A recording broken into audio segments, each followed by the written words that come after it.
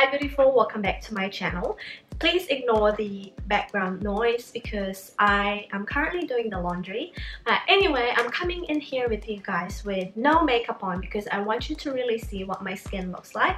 So I have been testing out this Aztec Secret Indian Healing Clay Mask for about 4 days straight. So it's been a couple of weeks since the last time I did the um, the face mask routine.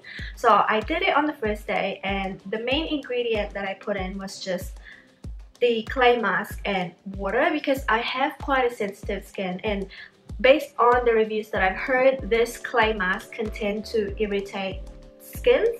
So the safest way for me to do it is to use with water because in a way it won't be extremely harsh on my skin this is what my skin looked like before I started using the mask. So I had this face mask on for about a minute and my skin feels so tight. I definitely don't feel any pulsating sensation like other people say mainly because I only use the um, water instead of apple cider vinegar but around this area right here starting to dry a little bit. Around this area right here is very very tight and so is my forehead. I feel a little bit of tingle around my breakouts which is the chin area and the neck area. I guess that's a good sign because I know that the mask is working. So I'm going to wait for about 20 minutes. I'll rinse it off and I'll show you guys what my skin looks like after. So the first day, I definitely noticed a huge difference from before and after because my, my face was a little bit dull and then after I took off the mask my face became a lot brighter though it felt very very very matte and awfully clean. I quickly applied a cold aloe vera gel just to soothe my skin after applying the mask. I have acne prone skin and I actually quite like the feeling of having a really tight skin because it makes me think that my skin is thoroughly clean. Second day I used it that's when I started feeling the pulsation. So it says that your face will pulsate as you put on the mask. On the first day, I didn't necessarily feel any pulsation. It just felt like a normal clay mask. I took the mask off my face felt a little bit red, especially around the cheek area, the chin, and the forehead, mainly on my problem areas. So I thought, oh my god, maybe it's my skin reacting badly. But then again, the redness goes away after about 10 minutes. But then I felt like my skin was quite smooth. Though, after that second day, my breakouts started coming out. I think it's something to do with it trying to clear out all my pores so all the gunk that was left in there for years decided to come out. So I freaked out and I stopped for one day because they're one of those really really painful breakouts. So I still have scars from it. So it's mainly around my neck area so around here and then a little bit of my jaw. So I stopped for a day and then the next day I continued doing it again.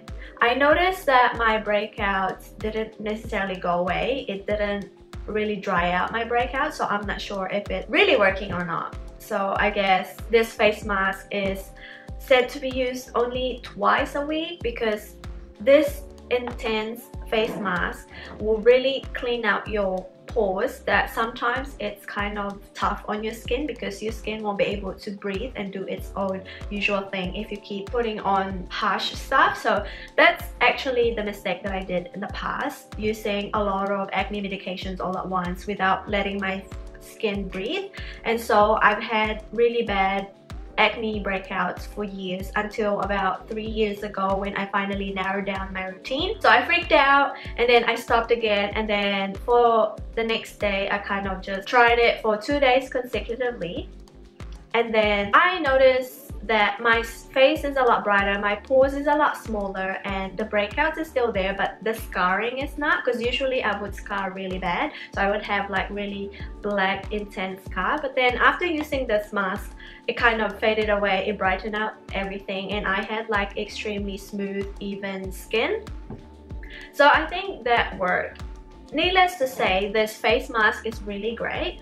I guess I wouldn't recommend you using it consecutively because your skin will definitely aggravate and freak out. This face mask would be great to use once or twice a week. So I have yet to try using this face mask with apple cider vinegar because it is the best and recommended mixing agent to mix with this. It kind of activates all the particles that are already in this clay mask. I would definitely recommend this for those of you who suffer from acne and occasional breakouts. If you have really dry skin and dehydrated skin, I feel like you won't really like this because it will make your skin very, very clean, very, very dry and very, very matte.